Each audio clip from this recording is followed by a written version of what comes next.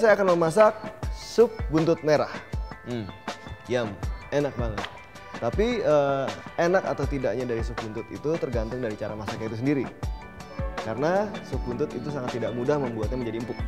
Jadi memang dibutuhkan waktu yang cukup lama, merebus sekitar 3 jam atau dengan panci yang bertekanan tinggi sehingga lebih mempersingkat waktunya.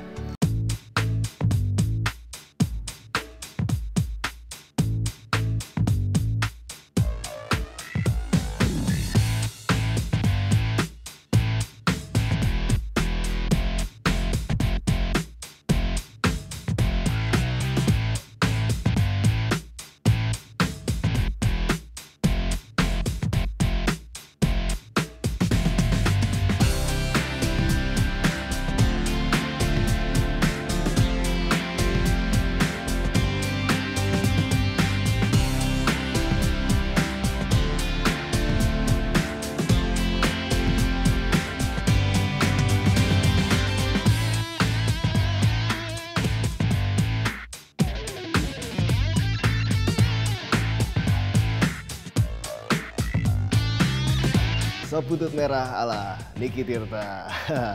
Nah, ini udah selesai. Satu lagi resep rahasia nenek saya terungkap.